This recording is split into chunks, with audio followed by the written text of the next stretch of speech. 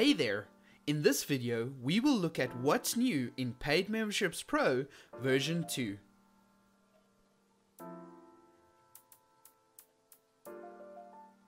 The first thing you'll notice when upgrading to PM Pro version 2.0 is the shiny new admin dashboard.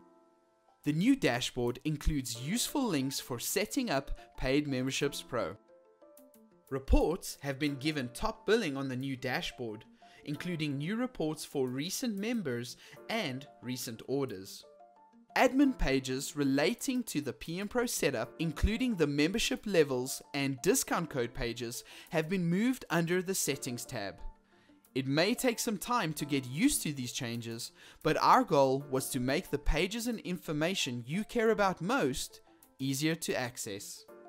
The orders page now includes new filters to show only paid orders or only free orders. PM Pro version 2.0 also includes a good bit of improvement for discount codes. You can now filter the view and export orders by discount code, duplicate a discount code, edit the discount code used on a new or existing order, and filter membership stats or sales and revenue reports by discount code.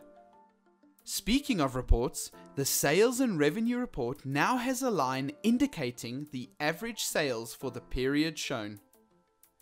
Finally, Paid Memberships Pro has been updated to work with the blocks editor released in WordPress 5.0. In addition to blocks to manage the various pages generated by PM Pro, version 2.0 comes with a block to add styled links to your checkout page.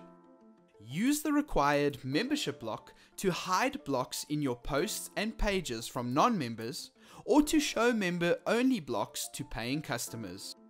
These are just some of the main features that you can expect to see in Paid Memberships Pro version 2.0.